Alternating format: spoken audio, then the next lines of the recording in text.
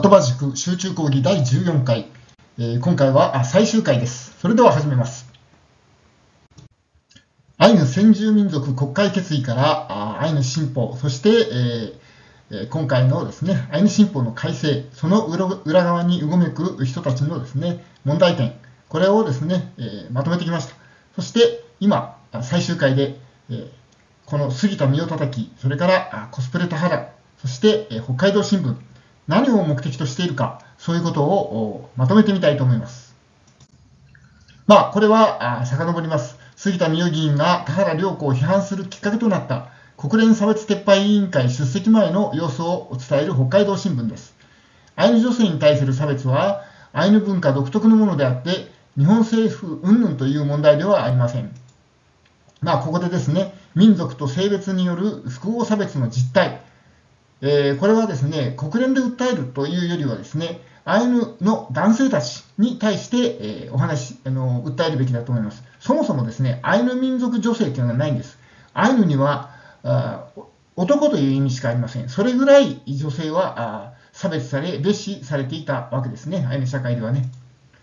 で、ここなんかもね、えー恋人や配偶者から暴力を受けても診療が必要な状態になってから初めて医師に相談する人が多い。もうそれぐらいですね、アイヌ女性というのはですね、アイヌ社会の中で虐げられていたということをこれから明らかにしていきます。まあ、これはですね、昭和40年代のアイヌの実態を伝える現代のアイヌという本であります。これは、朝日新聞、ね、の記者である菅原康介さん、そしてですね、あの朝日新聞の本田勝一記者が絶賛している本であります。で、ここにですね、何書いてあるかっていうと、シャモの男を持って幸福な家庭を築きたいと願うコタンの娘たち、白老町でと。どうしてですね、こういうふうに、いわゆるシャモ、和人の夫を持ちたいかということは、あのこれから明らかにしたいと思います。差別はアイヌ社会の中にあったということをしっかりと勉強してください。まあ、これなんかはですね、江戸時代、えー北海随筆、坂倉源次郎というね、松前藩の招きで道内各地を2年間にわたって調査したあ北海随筆ですね、坂倉源次郎の北海随筆、江戸期からアイヌ女性は非常に忍耐を強いられていた。ということがよく書かれています。まあ、読みますとですね、あらかじめ心がくがけるう崖を置くとなり、まあ、死者のお負は、かぶりを、かぶり物をして、面を表さざること、およそ3年、また再び仮せず、まあ、その他ですね、いろいろと、この、身辺にですね、えー制約が加えられているということがあります。出産もですね、これ一人で、えーのやらなきゃいけないというね、非常に、えーアイヌ女性というのはね、えー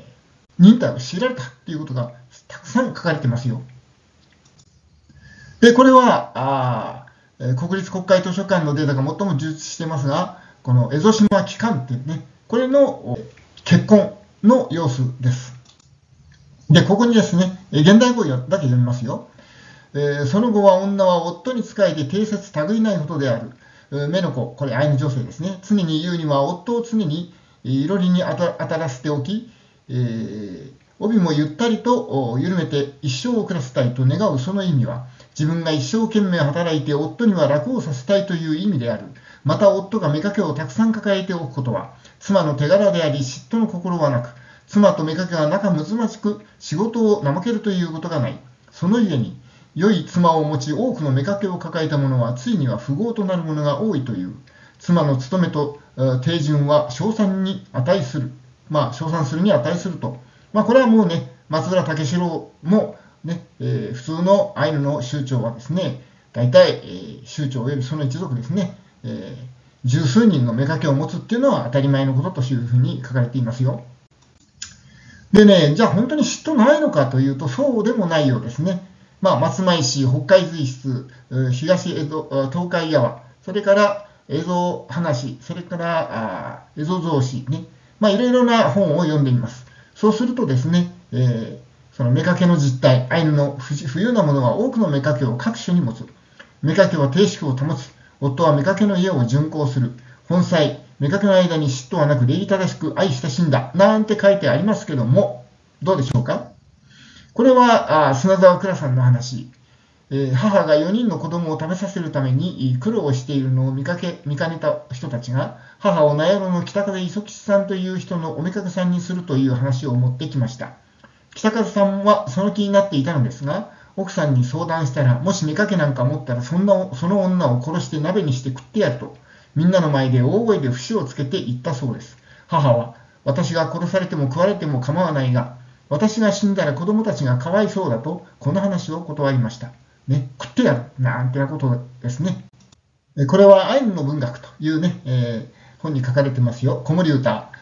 汝のお父さんは私のところへは帰らずに、村外れのに住む6人の顎の長い見たくなしの女たちのところへ帰ってきて、夜も昼も一緒にごちそうを食べながら大笑いしたり大騒ぎをして、えー、歌ったり踊ったりする声が盛んに聞こえてくるのです。汝のお父さんは6人の顎長女の父を捕まえようとして、ふんどしをぶらぶら下げ、ふんどしを振り回して毎日ガヤガヤ騒いでいるのですと。まあ、6人の妾ですから、これは明治になってからのことでしょうね。えー、子供の頃から、まあ、母親のこんな嘆きを聞かされていたらですね、アイヌ女性がアイヌ男性を嫌うのはもっともなことです。えー、こちらはカラフトのアイヌですね。えーで、カラフトアイヌにもやはり子守歌がありますよ。なんて書いてあるか。私は本妻で、えー、子供まであるのに、うちのお父さんは妾のところにばかり行って、うちを他にして、えー、この頃一度も顔を見せぬ。これがために私は大層面白くない。子供を炉端に寝かしておく、このように寝かしている様を、うちのお父さんが帰ってみて、えー、来てみたら、干したマスをお前に食わせ、味の良い新しい魚でお前を育ててくれるだろう。私は今、切なくて蔵の屋根に上がって、えー、火を放って一層のことを寝たまま死んでいきたい、なんていうね、えー、子守歌を聴かせるわけですよ、アイヌの女性は。ね。で、これはね、もう実際に全部この丸の部分、あの、実名が入ってますけども、まあ、それ出すと今、あの、いろいろとうるさいんでですね、えー、出しません。で、これにはですね、うん、21名の自殺者自殺者のうちですね、実に16名が男女の問題で、え自殺しているということですね。まあ、アイヌはね、不倫するとかやって鼻をそがれます。ね。えー、これ写真撮られてるっていうことはね、明治になって、明治か、あるいは大正の頃ですね、えー、そういうことであります。えー、まあ、不倫を疑われた女性っていうのは悲劇ですよ。何て書いてあるかっていうとね、要するに、えー、煮え湯にですね、え手を入れて、その身の潔白をですね、え明かさなきゃいけない。要するに、え小石を3つ入れて、入れた煮え湯の中でね、それを探って取り出す。それで、え身が潔白だとすると、え手はですね、やけどしない。でもほとんどですね、そんなことはありえないわけで、手が不乱になしてね、えー、廃人になったような、そういう人もいると書いてますね。え、やはり蝦夷島機関ですね。これは蝦夷整形図説。ね。え、畑仕事の図ですね。シバリあのイボシ北斗が言ってますけども、シベリアの少数民族同様、アイヌは土を掘ることを意味嫌う。まあ、何回か紹介しましたけども、ですから、あの墓穴をですね、深く掘らない。そこで、えー、狐やね、えー、狼がひっくり返してその死体を食うという、まあ、そういう状況が続いてたわけですね。今頃何をね、えー、先祖の遺骨解析とかなんだとかっていうのはちょっとおかしな話なんですけどね。あそれからあこのこれ間宮林蔵とかね。そういう人たちがあ監修してますからあ間違いはないですね。畑仕事はもちろん女の仕事ですね、えー、北海道新聞のこれ記事ね、えー、平成24年2012年ですね。まあ、画像が不鮮明なのでですね別のテキストから写真だけ同じ写真貼り付けてあります。うん。ここでですねあのー北大アイヌ先住民研究センターの佐々木俊和さん、まあ、今は変わってますけどね、その方がですね、こういうことを書いてるね。干しアワビは江戸時代の主要輸出品の俵物で、長崎を経由し中国に送られた。アイヌ民族の刺激の実態解明につながるってね、もう長長い間ですね、もう定年間近まで研究しててですよ、刺激の実態なんて分かってないはずないんですよ。要するに、アイヌ、これ見えますよ。ね、これにちゃんと書いてあるんですけど、ロシアが見たアイヌ文化、これはね、ロシアにたくさんアイヌ文献が保存されてます。それで、えー、これを九州大学あ、九州国立博物館がですね、えー、展示会を開いて、それを借り受けてですね、これを、それをまとめた本が出されています。ね。それで、えー、これ見てください。全部口元に入れ墨、腕に入れ墨ありますでしょ。これは女性ですね。要するに、え、州長がですね、えー、たくさんの目かけを持ってですね、えこれはあの6人ですけどね、あの働かせるわけですね。そして働けば働くほど、先ほどもあったように、あのまあ、収入があると。ただその収入で新たにまた妾を買う。そしてまた働かせる。そういうふうにして和人との交易の中でですね、えどんどんどんどん州長だけが裕福になって多くの妾を抱える。そしてこれがですね、アイヌ人口の減少につながるということで、松前藩から江戸幕府がですね、蝦夷地を直轄したときにですね、えー、妾の数を3人に制限したわけですね。それまでは何たってね、まあ、十数人は当たり前、ね、えー、厚岸のいことは30人、それからあ月の絵は18人、そしてあの釈迦院に至っては84人、84名というふうにね、記録に残ってますよ。これじゃあね、あのー、アイヌの男たちは不満がたまります。それでですね、えー、トパトス、トパトスミって言ってね、他の村を襲って男を叩き殺して女をさらっていくという、そういう戦いを延々と繰り返していましたね。まあ、こちら、これ普通のアイヌはね、鍋が1つっていう、鍋あのもう1つで、えー、器も1つだけど、これ鍋2つあって、かつ器もね、3つぐらいありますか。ですから、これはあの地位の高い富裕なアイヌの家ですね。そして、女が1、2、3、4、ね、働いてる。まあ、それと奥さん、制裁ですか。まあ、これは妾たちがいるわけですね、こうやってね。まあ、これなんかも宴会の図が出てますね。まあ、とにかくですね、えー、今は建て替えのために閉館してますけど、これ、吉田菊太郎さんがね、えー、大正の頃ですか、記録してます。映像考古館の展示ですよ。とにかく辛い仕事はすべて女性。ね、これ、か背負ってるの4トダルね。4トダルってね、空の時、あの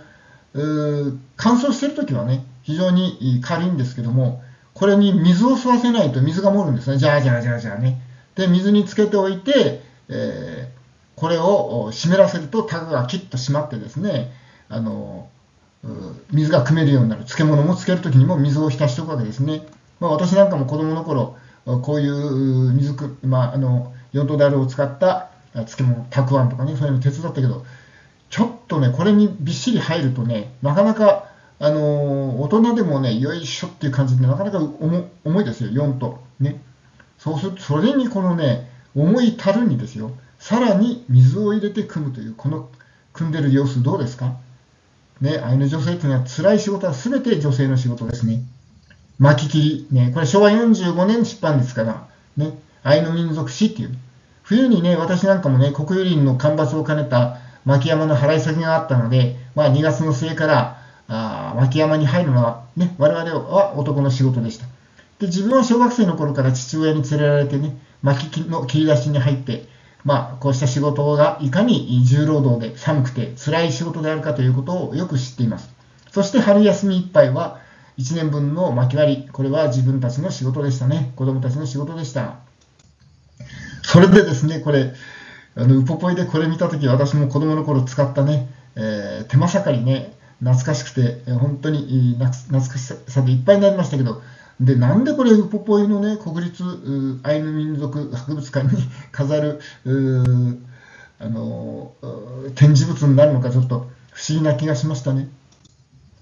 さて、これはですね、児玉作左衛門さん、様々なアイヌの研究してますよ。で、これね、にちゃんとね、アイヌ女性の生活と地位について、え書いてあります。まあ、読みやすいようにまとめますよ。うんまあ、いかに悲惨だったか、愛の家庭においては全く悲惨な状態にある。水汲み、巻き取り、その他家事全部はもちろんのこと、畑の仕事までえしなければならない。さらに悲惨なことは、女は不潔であるという理由から宗教の行事、祈りを捧げることも許されない。え例えば、女が悪い夢を見たときには、夫が男児に、夫が男児にこれを告げ頼んで神に祈りをしてもらい、役払いをするのである。この役っていうのはね、原文そのままです。なお、昔は一夫多妻であり、見かけが何人いても互いに嫉妬や恨みを抱くことはなく、かえって絶倫なる男性を褒めて、え、誇りとなしたと言われる。まあ、この 時点でですね、私、文献ちゃんと持ってますけども、十勝地方のある町にやはりですね、まだ妾を持ってですね、えー、そういう過程が挙げられてますね。まあ、これはあの出せませんけどね。で、どうですかね、これ、田原涼子さん、うんね、民族衣装でね、えーえー、その、忍ぶなんて書いてありますよ。で、ここ、食べ物やお酒を備えた後、紙に火をつけ、お酒を振りかけながら供養したという、まあ、いわゆるカムイのみですね。えー、だから先ほどから言ったように、女の人はカムイのみすることは絶対にありません。それから、もう一つはですね、えー、シコタンアイヌっていうのは、これ、もうロシア正教会ですから、ね、ハリストス正教会の人たちですから、この墓石にですね、酒を振りかけるなんていうのは、とんでもないことですね。まあ、こういうふうにして、えー、冒涜をし続けているわけです。まあ、これはもうコスプレと言われても仕方がないですね。で、こちらもそうですよ。これ、の北海道大学でイチャルパをやってるっていうね、これ女性たち。これもね、全くね、これこういう文化はね、えー、アイヌにありません。女性は不浄なものとして、えー、神仏、神仏というかね、祈りに参加することは許されなかったわけですね。まあ、アイヌの身分制度についてもきっちりといろいろな文献にまとめられています。えー、州長とその一族以外は反奴隷状態です。えー、目掛け治安家町、下僕ですね、打たれは売買されました。州長の目掛けの数は十数人から数十人、借社員の目掛けは84人、え、同族でも家父、独身者、生活困窮者が目掛け下僕になる場合もある。それから和人の血を引く者は、シャム筋として尊敬される。まあ、これにちょっと書いてませんけども、いわゆる突発富っていうね、そういう、あの、野衆ですね。これで連れてきた女も目かけにするわけですね。それから、あれですね、厚岸のいなんかは、いわゆるチャラン家、言いがかりをつけて、償いを取るんですけども、その償いが払えないものも打たれ、下僕にされてしまうということであります。うっと、まあ、これ、現代のアイヌ、ね、右ね、えー、まあ、これにはね、その、アイヌに養女として育てられた和人の人が、まあ、やはりですね、えー、アイヌに嫁ぐ、そしてカムイの飲みばかりやってて働かない夫をね、えー、嘆いているという、そういう実態が書かれています。えー、先また、先ほど紹介した砂沢倉さんのね、えー、本にもですね、え、酒を飲んで乱暴する。で、少し金ができると女の元行って帰ってこない。ね、これ明治の頃、明治大正の頃ですよ。そして、それに目をつむってると逆にね、今度はお前は自分を愛してないのかと言ってまた乱暴するという苦労話が書かれてますね。えー、これはですね、この5月15日、えアイヌ政策検討市民会議の主催で衆議院第一議員会館で集会が行われたようです。まあ、現職議員の世話がないと議員会館は利用できないそうです。うん、まあえこの推進法についてですね、まあ、なんとかしてくれという、そういうお願いだったようですね。で、その議員の名前も把握してますが、まあ、あの主に立憲民主党、福島みずほは名刺だけ置いていったみたいですね。えー、社民党ですか、福島みずほはね。それで、えー、ここがダメだと。アイヌの先住民族であると明記したにもかかわらず、先住権が一つも盛り込まれていない。ね。それから、差別やヘイトスピーチの歯止めになってない。要するに原発にすれというね。だからアイヌは先住民族でないっていうこともダメだと。まあ、言論封殺もいいところですね。えー、遺骨返還がほとんど進んでいない。これもね、各地のね、あのー、アイヌ同士が、まあ、もともとですね、殺し合いやってた部族同士ですから、ね、えー、例えば各ね、えー、まあ、100箇所、200箇所ぐらいあるんでしょうか、北海道に茶師。それぞれに物語が残ってますけど、本当に、まあ、凄惨な戦いをやってますね。でそれがちゃんと、あの本に記載されてますよ。茶師のそういう研究もあの本に一冊にまとめられてます。宇田川さんね、あのところの先生ですね。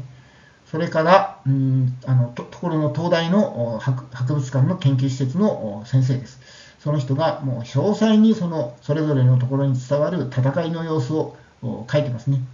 それからアイヌ民族文化振興計画やあ地域振興計画の立案の主体と位置づけていない。のね、これ、アイヌはね、デタラメもいいとこで、えー、歴史をね、捏造する映画まで、えー、作ってしまってますよ。そして、えー、また、あの補助公金の、ね、不正を散々やっても一切処罰されないという、こんな人たちに主体になって、えー仕事をさせたらどんなことになるかということですね。アイヌ民族に対する明治以来の歴史的不正義を明示しておらず、その反省に立っていない。明治以来っていうっていうことはですね、まあ、これ、江戸期、あの江戸幕府になってから非常に保護政策があの際立ったんですね。そして、えー、明治になってから、あの北海道旧土人保護法によってですね、あの朝日新聞の記者ですら至れり尽くせりの法律だと。そして、えー、この法律を作るのを願ったのもアイヌ。最後まで、えーえー、廃止をに反対したのも北海道歌り協会、今のアイヌ協会の前身です。国際的な先住民族、少数民族復権の流れを組んでいない。もうそもそもですね、この先住民族っていうのは南北オセアニあ南北アメリカおよびオセアニアの話だったんですね。そこに我も我もとね、あちこちのアジア、アフリカ、これ収集つかなくなって、ですから今でも定義、先住民族の定義がないですね。そのことをちゃんと私たちは理解してないといけませんよ。で、このアイヌ政策検討市民会議で、これ自分たちの、なんていうかな、あの、都合のいいこと書いてますけどもね、この実態たりはね、どういう人たちかっていうと、例えばね、上村さん、ね、まあ、小川隆吉さんなんかもうね、千歳川での密漁をね、誇らしげに書いてますよ。もう、それからですね、この、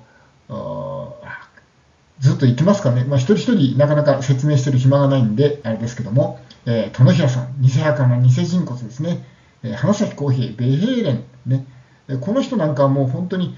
あれですよ、あのベヘーレンがその、あのソ連から金もらったことがばれててですね、今度札幌自由学校 U っていうね、まあ、その前身の運動があるんですけども、それを立ち上げて、そしてそれを今度はアイヌの方に、えー、このアイヌ政策検討市民会議というふうに立ち上げていったわけですね。まあいろいろやってますよ。吉田邦彦さん。まあ、ちょっと後で、えー、詳しくお話ししますけども。例えばこれ、上村さんね、知っていますか？アイヌ民族一問一答。これね、左の写真。上村さんに言うと、親から引き離された、えー、東京に強制移住させられた、留学したアイヌの子供たちだそうですけど、ね、立派に火生やしてますね。それからこれも、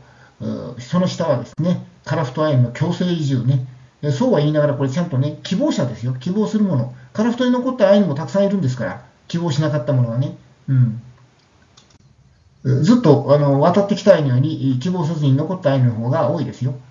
えー、それから、あこの宇梶さんね、あ、さっき言ったね。うん。これなんかもね、中学校は良い思いばかりです。お嬢様学校でみんな仲良かった。年の差は感じず、アイヌだと差別されたこともなく、ただひたすら勉強についていくだけでした。これな第7回ね、北海道新聞連載。でね、もうちょっとこれじゃダメだっていうんで差別出してくれって。ね、差別された記憶は忘れることができませんとかね。その中にね、ちょっと一番のね、差別はアイヌ同士の差別だということが書かれてますよ。アイヌがアイヌを差別する。ね。で、今何やってるかって言ったらね、え、こういうふうに、え、アイヌの映画の監修をしたりですね。まあ、この、これやってる人の監督がね、この、金大さんっていうんですか。まあ、その系統の人だということはよくわかると思いますね。この映画があ北海道でどう評価されるか気になる。アイヌ民族が息をしやすい社会になってほしい。他の人普通に暮らしてますよね。それからこの人たちは大手振って生きてますよね。えー、日本人をバカにしてね。差別した、差別したって言ってね。おかしいですね。殿平さん。ここにいますね。これ、この深川一条寺のお坊さん。ね。これ何が学生磨き引き締まる覚えですか？で、偽墓な偽人骨。これ、あの、明神って言ってね、韓国公安、北朝鮮のスパイ容疑で、えー、家宅捜索されていた人ですね。まあ、こういう人たちが集ってですね、やってるわけですよ。ね、どんなことをやってるかって言ったら、これ見てください。うん、金正日とかね、胡錦涛国家主席なんかにね、協力要請したりね、活動の。それからもちろん平壌にも行ったりしてるわけですね。はい、次は、花咲浩平さん。まあ、あのー、えー、ベヘレンの,、ね、の札幌支部を立ち上げた人であります。で、えー、1979年にですね、米国へ亡命した東京で長くスパイをしていたレフチェンコの回想録、えー、これに様々なことが書かれています。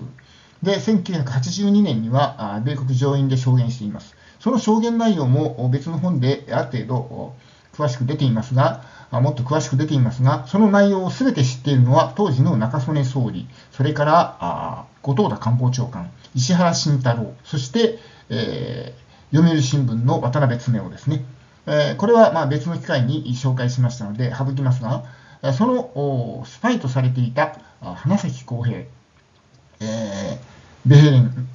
から支援を受けていた花咲公平がですね、今度どういうことになっていったかというと、札幌自由学校 U、ねえー、まあ、ベヘレンが金もらったということで都合が悪くなってですね、活動の拠点を札幌自由学校 U という遊ぶというね、そこに移して、さらに、それにもっとこのアイヌをね、利用しようということなんでしょうか、えー、同じ場所、同じ連絡先にですね、えー、アイヌ政策検討市民会議というのを立ち上げました。その花咲公平の著書、この静かな大地という本がですね、なんと自民党のアイヌ議連の鈴木宗男さん、そして、え今津博さんのですね、バイブルとして、え使われたということで、まあ、私もですね、アイヌが先住民族だなんておかしいじゃないかというふうに今津さんに言ったところ、これを読めばわかるというふうにして、えー、紹介された本、早速読んでみまして、まあ、内容に呆れ果てたわけですね。で、えー、ここでこれでですね、その田原良子さんたちが根城としてですね、盛んに国連へ働きかける場として使っているのが、今だ反差別国際運動というのがあるんですけども、これがあの1991年ですね、上田匠、ここにある社会党衆議院議員で部落解放同盟委員長、彼らが中心になって立ち上げたものであります。しかし、これにはですね、しっかりとですね、レフチェンコがスパイだというふうに名指しした人物で、レフチェンコ自体はですね、国連をソ連のそういう国のために、使うということまで証言しています。まあ、これがその田原良子さんが活動している今らの実態ということであります。そしてこの吉田邦彦さん。この人はまたね、いろいろやってるんですよ。まあ、後で詳しく話しますけども。それがですね、これ、この田原良子さんを支える中にちゃんといるんです、こう。中山千夏とかね、田中優子とかね、えー、新須郷、乗り越えネット、こう松島なんていうのはね、これ、あれですよ、あの沖縄非武装中立ね、米軍自衛隊即時撤退、尖閣はあの台湾と中国に返せと、そんなことしたらすぐに取られちゃいますよね。もうほとんどあの向こうのスパイですね。もちろん、この吉田邦彦さんもね、もうこれ、村山内閣の時点でですね、毒ガス兵器の話は終わってんです。しかも、情報に情報を重ねてね、あんなああ中国の言いなりのやり方は絶対にありません。だって、あれ、ソ連とね、中国、国民党政府にですね、えー、取り上げられたものですから、日本はそんな息息じゃなくて、ちゃんと差し上げたものですので、あの向こうで処理するのが本来ですけども、村山内閣はなぜか1兆円という金をね、中国にポーンと出しましたね。それから、えー、北海道アイヌ、北海道共生連合労働の拠点、朱鞠内でのね、遺骨、放管事業なんかをね、え支援してますよ。そもそもね、あの遺骨、見つかった遺骨をね、焼いた後残ってます。何回も出してますけども、あれはね、私なんか子供の頃から知ってるんだけども、やってたからね、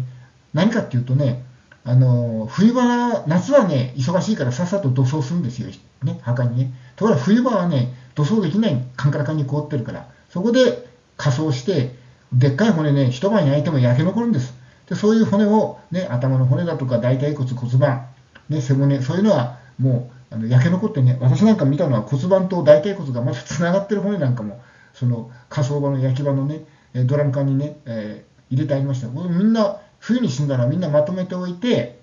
あの実際にその焼き上がった骨拾うのはね、指の骨とかね、喉仏とか、少しね、手のひらに乗るぐらいの量をさらしに包んで持ち帰るわけですね。そして焼け残った骨が溜まって春になって雪が溶け土がの氷が溶けたらねそれを掘り返してですねそこにどさっと埋めるわけですわ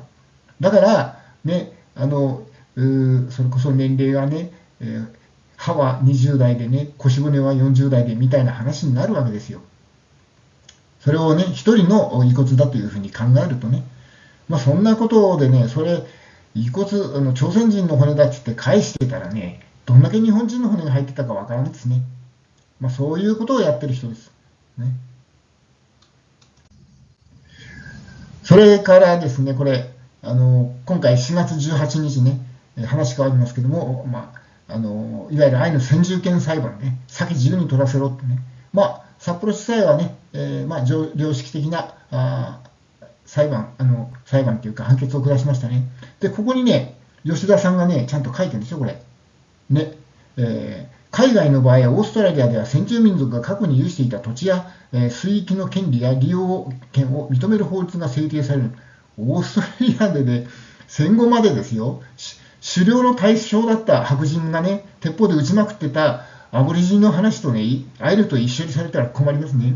で、めでたくですね、えー、今年、北大を体感しましてですね、中国広東外交外防大学法学院の教授に就任いたしましたよ。まあもう最初から分かってますね。うん。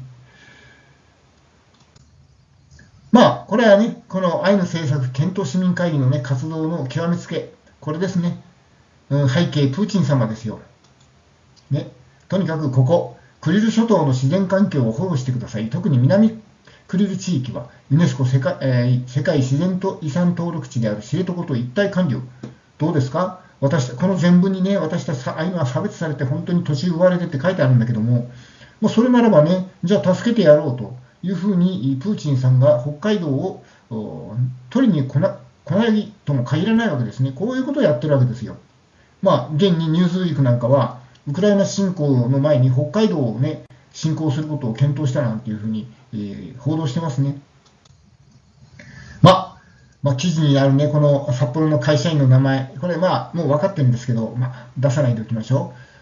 う。うーん、これもね、えー、アイヌ検討市民会議のね、えー、アイヌ政策検討市民会議のメンバーなんでしょうけどもね、まあ、どう、まあね、この強い怒り、感じてるんですから、まあ、もう一度ですね、プーチンさんにお願いしてみたらいかがでしょうかね。今、ウクライナに忙しいから、なかなか来れんでしょうけどね。うん。まあ、以上ですね、え田原涼子さんのコスプレ、そしてですね、アイヌは差別された、差別されたという、その差別の実態、アイヌ女性のね、えー、これについて、えー、お話ししました。まあ、これはね、やっぱりきちっと、あの、昔からのアイヌの文化、古典をですね、現場で見た人たちの古典を見なきゃいけない、読まなきゃいけない、そういうことで現代語で読むシリーズを出しています。その他に、蝦夷島機関、これも出してますんで、ぜひ読んでください。それから、この科学的アイヌ先住民族否定論、これにはですね、え、アイヌがね、あの北海道入ったのはずっと後の話だということが DNA 分析ではっきり分かってます。それから、え、文献的にも歴史的にも考古学的にもしっかりとまとめてありますので、ぜひ読んでください。今日は以上です。